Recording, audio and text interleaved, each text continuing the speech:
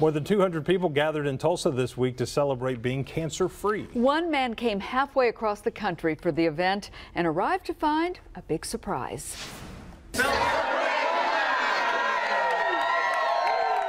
They come from all walks of life, all ages, and all parts of the country to celebrate one of the most important milestones of their lives. I knew I wanted to come here to this event the first day I walked into this building. Five years cancer free.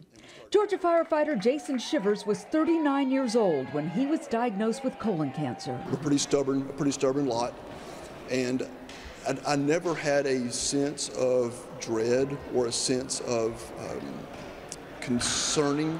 I just knew that I wanted to tackle it.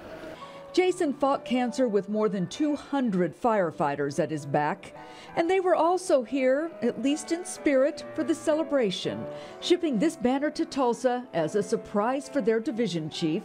And that just means the world to me because those names on that banner are our family. Signed by almost every member of the Forsyth County Fire Department. Spin around.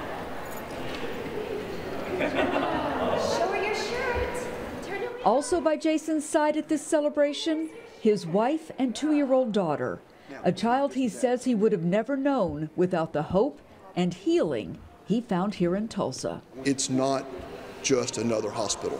This is a special, unique place that serves a, a, a God-given function.